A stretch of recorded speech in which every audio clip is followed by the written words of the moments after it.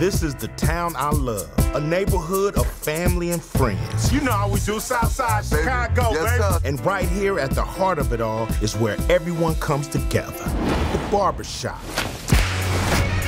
What's up, homie black folks? Who wants some gangster grub? That who's hopping on a fleek last time. Did she just say fleek? There's a whole dictionary full of words. There's a library down the street. You won't see fleek in there nowhere.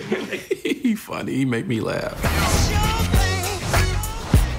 What happened to the barbershop, Calvin? You should come here to get away from women. Me and Angie, we was both struggling to keep our shops afloat. So we had to work together. Saved us both. I can't believe y'all put all that money on your heads and then don't be having the money for your rent. With this here and this booty, Damn. it's like walking around with a black Amex.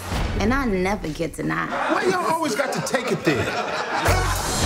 Streets is crazy right now. I damn near got robbed the other day. I got robbed twice and got my ass beat by the second robber for giving all my money to the first. Uh-uh. She wasn't playing. This neighborhood was always rough. But there's something different going on.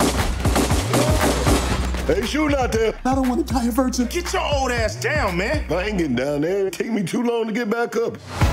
Meanwhile, we gotta raise Jalen in this mess. You don't understand how dangerous it is out there. Y'all need anything? Y'all straight? We gotta take our streets back.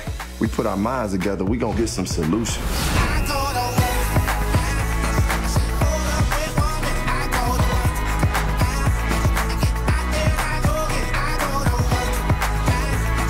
I got so much love for everybody in this neighborhood. Turn that up! Yeah, this gotta be some of my best work. I bet you he won't be talking back to his mama no more. Give me that George Jefferson. No, no, no.